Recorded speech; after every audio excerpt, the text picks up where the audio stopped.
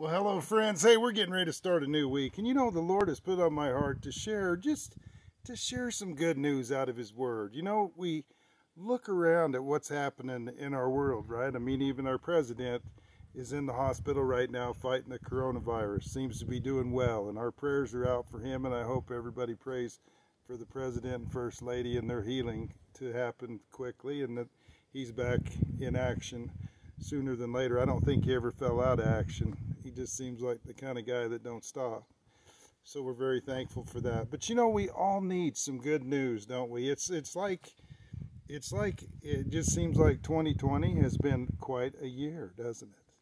But you know, friends, there's good news in the Bible. And you know, I'd like for you to open with me today to Luke 12, and let's just start reading at 22. Then he said to his disciples, Therefore I say to you, do not worry about your life, what you will eat, nor about the body, what you will put on. Life is more than food, and the body is more than clothing. Consider the ravens, for they neither sow nor reap, which have neither storehouse nor barn, and God feeds them.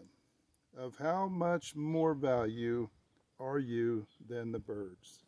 Friends, I got to tell you guys something that is just some great news for us to remember. God has this whole deal under control.